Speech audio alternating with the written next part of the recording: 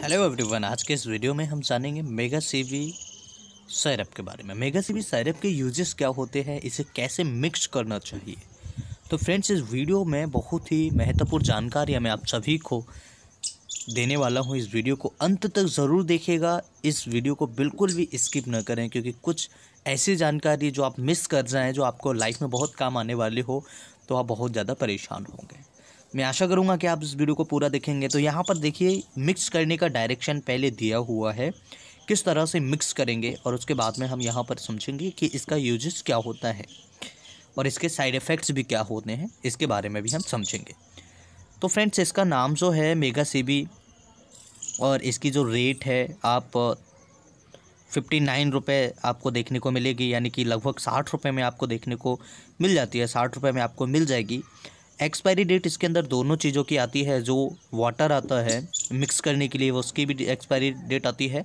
और जो आपका पाउडर फॉर्म में जो मेडिसिन आता है एमोक्सिलिन आता है पोटेशियम क्लाइवोलेनेट आता है, उसकी भी आपको एक्सपायरी देखने को मिलती है। ये आपको थ्री पॉइंट थ्री तीस एम में देखने को मिलता है, जो कि बहुत ही अच्छा फॉर्मूला है।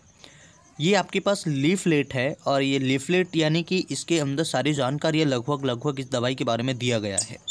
मेगा सी भी आप यहाँ पर नाम देखेंगे। इनके अंदर दो दवाइयाँ होती हैं। एक डिजिटल वाटर है और जो कि आपको तीस एम में देखने को मिलता है। यानी कि तीस एम डिजिटल वाटर है ये। और ये आपको पाउडर फॉर्म में एमोक्सिलिन और पोटेशियम क्लेवोलेनेट जो पाउडर है मेडिसिन का, ड्रग का वो आपको इसमें देखने को मिल, मिलता है। तो यहाँ पर बहुत अच्छे तरीके से यूज़ हम इसका कर सकते हैं। इसका यूज़ जो होता है, लंग्स से रिलेटेड बीमारियाँ, जैसे कि फेफड़ों में संक्रमण होना या स्किन में संक्रमण होना, जो काम खांसी, कफ, कोल्ड हो जाना बच्चों में या बच्चों में फोड़े फुंसी टाइप के हो जाना, इस तरह की बीमारियों में इसका उपयोग किया जाता है। अब इसे जान लेते हैं कि मिक्स कैसे करेंगे? तो इस पर देखेंगे आप, बहुत अच्छी पैकिंग दी जाती है, जो कि आप आसानी से हाथ से इसे नहीं ओपन कर सकते हैं। इसकी पैकिंग जो है, अगर आप इसमें नाखून जो है, नेल्स को अगर अंदर करना चाहें तो ये नहीं टूटेगी, ये सील इसकी ख़राब नहीं होगी। तो इसके लिए आपको कुछ हार्ड चीज़ की ज़रूरत पड़ेगी, जैसे कि नाइफ़ चाकू है। तो नाइफ़ से आप आसान तरीके से इसकी जो पैकिंग है, आप इसे निकालेंगे और पैकिंग निकालने के बाद में आप बहुत अच्छे तरीके से इसमें थर्टी एम का जो डिस्टल वाटर है आप इसमें डाल सकते हैं। इसकी पैकिंग निकालते समय आपको कुछ चीज़ें ध्यान रखनी होंगी। इसके अंदर इसका कोई भी रेसा या जो पैकिंग का टुकड़ा होता है कागज़ का वो नहीं जाना चाहिए। अगर जाता है तो ये आगे चल को जो बच्चों को हम दवाइयाँ देते हैं, उसमें ये पेट में जाएगा। हालाँकि कोई प्रॉब्लम नहीं करेगा, लेकिन जाना भी नहीं चाहिए तो ज़्यादा सेफ़ होता है क्योंकि ये हमारी बॉडी के लिए एक फ़ॉरेन बॉडी का काम करता है। ठीक है? तो फ़ॉरेन बॉडी का काम करता है, इसलिए हमें थोड़ा सा ध्यान रखना बहुत ज़्यादा ज़रूरी है।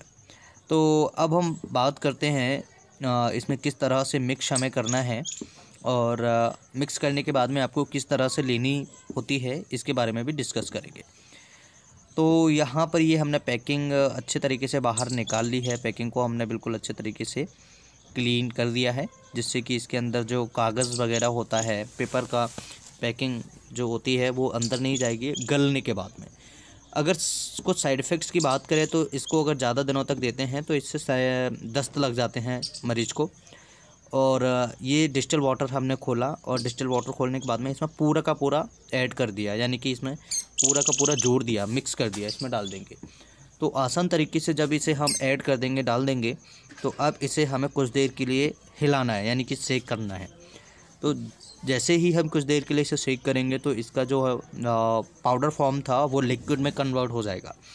इस तरह से हमें मिक्स करनी होती है। कुछ देर के लिए अगर हम इसे मिक्स करेंगे तो आप देखेंगे कि इसके अंदर जो पाउडर फॉर्म था डिस्टल वाटर डालने के बाद में ये बहुत अच्छे तरीके से लिक्विड में बदल जाएगा। तो ये जो लिक्विड होता है, ज़्यादा पतला भी नहीं होता है और टेस्ट भी थोड़ा ठीक ही होता है। बच्चे इसे आसानी से पी लेते हैं, कोई ज़्यादा दिक्कत वाली बात नहीं होती है। तो देखेंगे आप, अंदर आपको देखने को मिल रहा होगा कि कहाँ तक ये मेडिसिन होगी आप देखेंगे हम इस तरह से ये मेडिसिन बहुत अच्छे तरीके से हमें मिलाना चाहिए। इसके अंदर कोई भी गोठली टाइप की नहीं होनी चाहिए। आज की इस वीडियो में इतना ही, फिर मिलते हैं नई वीडियो में। तब तक लिए bye take thanks for watching